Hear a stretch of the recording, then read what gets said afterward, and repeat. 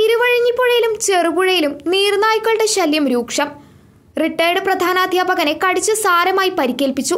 ചേന്ദമംഗലൂർ സ്വദേശി പി മുസ്തഫയെയാണ് പുഴയിൽ നിന്നും കുളി കഴിഞ്ഞു കയറുന്നതിനിടയിൽ നീർനായ കടിച്ചു പരിക്കേൽപ്പിച്ചത്. കാൽ കുടഞ്ഞ് കരയിലേക്ക് കയറുന്നതിനിടയിൽ രണ്ടാമത്തെ കാലിനും കടിച്ചു പരിക്കേൽപ്പിച്ചു. ഉടൻ തന്നെ കോഴിക്കോട് മെഡിക്കൽ കോളേജിൽ ചികിത്സ തേടി. ഇരുവഴിഞ്ഞിപ്പുഴ ചെറുപുഴ ചാലിയാർപ്പുഴ തുടങ്ങിയ പുഴകളിലാണ് നീർനായ്ക്കൾ പെരുകിയിരിക്കുന്നത്. ഇതോടുകൂടി ജനങ്ങൾ പുഴയിലിറങ്ങാനാകാതെ വലയുകയാണ്. രണ്ടു വർഷത്തിനിടയിൽ ഇരുന്നൂറോളം പേർക്ക് നീർനായകളുടെ കടിയേറ്റ് ചികിത്സ തേടിയിട്ടുണ്ട്.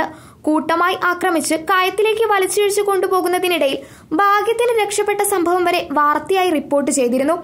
മുക്കം കടവ് മുഗൾ ഭാഗത്തെ ചെറുപുഴ ചോണാട് ചീപ്പാൻകുഴി കക്കാട് മാളികയ്ക്കൽ കോട്ടമുഴി തെയ്യത്ത് കടവ് കാരാട്ട് കടവ് പാഴൂർ തുടങ്ങിയ കുളിക്കടവുകളിൽ നീർനായ്ക്കൾ വിഹരിക്കുകയാണ്. നഗരസഭയുടെ നേതൃത്വത്തിൽ പ്രധാന കുളിക്കടവുകളിൽ വല സ്ഥാപിക്കാനുള്ള പദ്ധതി ആവിഷ്കരിച്ച് നടപ്പിലാക്കാനുള്ള ഒരുക്കത്തിലാണ് വനം വകുപ്പ് അധികൃതർ. Enlight News Mukkam.